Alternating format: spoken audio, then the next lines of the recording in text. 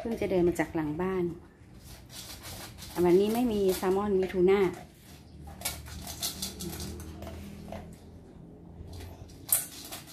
แม่อ้อมปล่อยน้องหน้าบ้านเดี๋ยวดูนะว่าพี่หลบฝนจะทำยังไง กินข้าวเสร็จแล้วพี่หลบฝนจะทำยังไง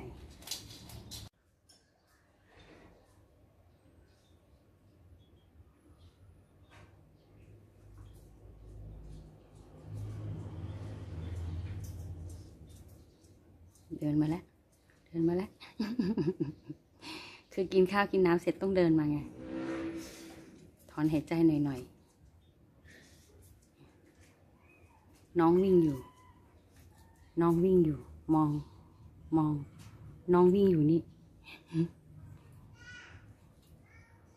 ปวดฉี่ไหมลูกอาฉี่ก็ฉี่ไปเนี่ยแม่ยังไม่ทำอะไร ที่ก็มี มองน้อง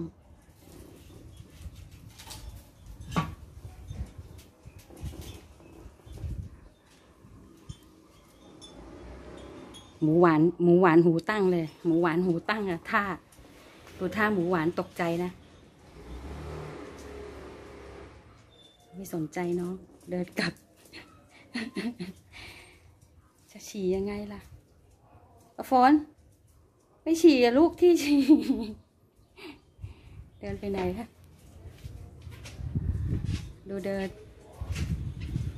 ทำไมอะลูก ก็ไปฉี่สิลูกแม่ก็อุตส่าห์ละที่ไว้ให้แล้วอะทำไมหลบฝนไม่ฉี่อะลูกทำไมอะลูก ไม่เอาเกรงใจ อั้นไหวไหมลูก แล้วหนูจะอั้นยังไงล่ะ หนูก็ไปฉี่สิ ไปสิครับอะแม่ไม่บังคับนะแล้ว แต่หลบฝนนะ แม่ไม่บังคับจิตใจนะแล้วแต่หลบฝน ถ้าหลบฝนไม่ฉี่ฮะ เลอเลอเอิกเลอเอิกอิ่มค่ะ อืมอันนี้แม่อ้อมให้แค่ สองถ้วยไม่เต็มก่อน เพราะธรรมดาหลบฝนต้องกินร้อยประมาณร้อยห้าสิบกรัม ก็คือสามถ้วยสามถ้วยตวงนี่แหละ ตามที่แม่อ้อมดู ก็คือให้แค่สองก่อน เพราะว่าเดี๋ยวกลางคืนให้กินยาก็จะให้อีกหนึ่งถ้วยไม่เต็ม อิ่มค่ะเลอเดี๋ยวแม่อ้อมไปทำให้น้องก่อนแล้วหลบฝนก็ไม่ไปเกรงใจอีกแล้วลูก นอนเลียตัวซะงั้นเดี๋ยวแม่ไปเอาผ้ามาเช็ดตาให้ก่อน เช็ดตากับเช็ดตัวนิดนึงนะครับ ฝนครับ อืม ปวดหรือเปล่าล่ะลูกปวดก็ไปฉี่สิลูกเอ้ยเออ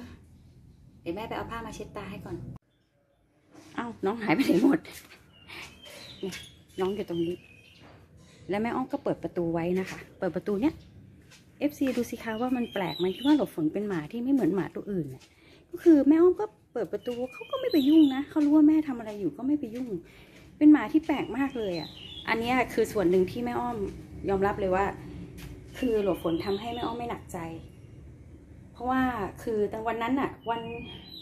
วันที่มาอยู่กับแม่อ้อมสองสองวันแรกอะก็คือ คือวันศุกร์นะคะแม่อ้อมยังไม่รู้ว่า ถ้าเป็นวันคือเขาจะมากลับมาอยู่กับแม่อ้อมตั้งแต่วันวันพุธพฤหัสศุกร์พุธพฤหัสศุกร์ก็คือ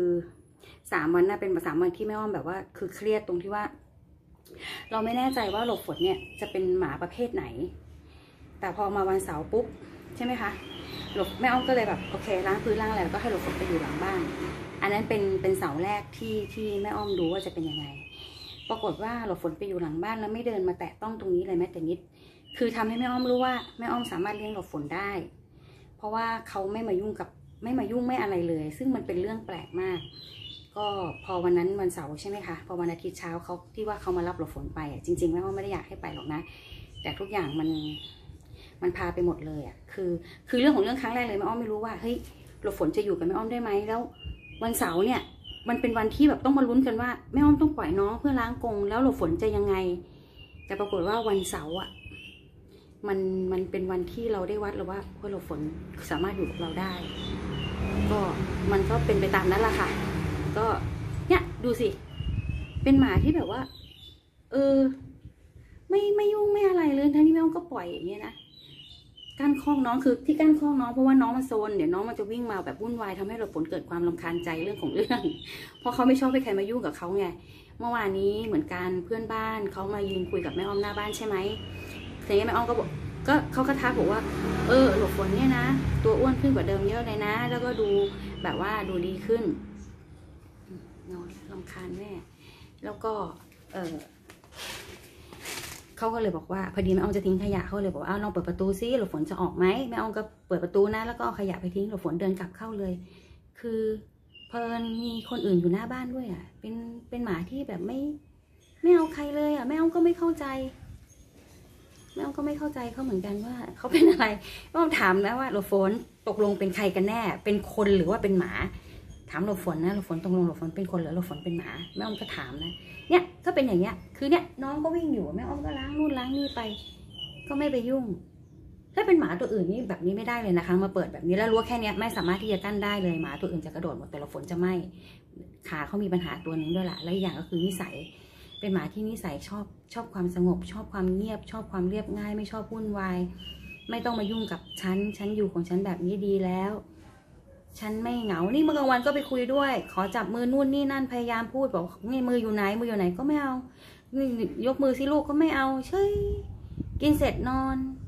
ตรงนี้ลมเย็นมาก อืม ดูคุณชายสิคะอืมเดี๋ยวแม่ไปทำน้องต่ายก่อนนะ อืม ผัดขนเยอะมากเลยแม่อ้อมก็ไม่เข้าใจนะ แต่เขาก็ไม่ได้เกาอะไรนะคะ แต่ขนมันจะแบบร่วงอย่างเงี้ยแต่แม่อ้อมหยุดให้กินไอ้นี่ไปแล้วล่ะไอวิตามินบำรุงขนเพราะมันไม่มีประโยชน์เลยแล้วอย่างเราฝนกินแล้วเราฝนจะรู้สึกไม่ค่อยดีเท่าไหร่มันหมดแล้วด้วยเหลยไปสองสามเม็ดแม่อ้อมก็เลยทิ้งไป คือตอนเนี้ยเราก็ไปดูโชคโชคก็มีขนแบบนี้เหมือนกันผัดขนหรือเปล่าเพราะน้องต่ายก็ผัดขนเยอะมาก ผัดจนแบบบ้านนี่มีแต่ขนไปหมดแต่พอเอญเขาอยู่ในห้องเขาส่วนเราฝนเนี่ยตรงเนี้ยแม่อ้อมก็กวาด เช้าเย็นเช้าเย็นนี่ทำความสะอาดให้เขาแล้วกินแล้วเดี๋ยวก็สักพักหนึ่งแม่อ้อมก็กางมุ้งเดี๋ยวแม่อ้อมไปทำน้องต่ายก่อนละกัน อันนี้พัดลมบ้านแม่อ้อมนะคะ นี่สองตัว นี่คืออยู่ข้างบนที่ไม่ได้ใช้นะคะ พัดลมแต่ข้างล่างมีอีก ค่ะ อันนี้สองตัวอีกมีอีกสองตัวนะคะ คือตัวสีแดงนี่เป็นของพอดีของป้าเขาใช้แล้วตัวสีขาวเนี่ยเป็นตัวที่แม่อ้อมใช้อยู่ประจำนะคะ แล้วก็ เอ่อสองตัวสามตัวเนี้ยก็คือตัวสีชมพูตัวใหญ่อะไม่ได้ใช้ สีเขียวเป็นของน้องต่าย สีเทาเป็นของหลบฝนนะคะ ก็คือแม่อ้อมอะจะเอาไปเป่าให้ตอนกลางคืนนะคะ แต่ว่าพอดึกๆแม่อ้อมจะต้องถอดไม่งั้นหลบฝนจะไม่นอนมุ้งเพราะว่าพัดลมมันช่วยได้แค่เอ่อส่วนเดียวก็คืออยากจะนอนข้างนอกก็เป่าสบายๆ แล้วพอสบายปุ๊บนางก็จะไม่เข้ามุ้งแม่อ้อมเคยเอาไปเป่าแล้วล่ะ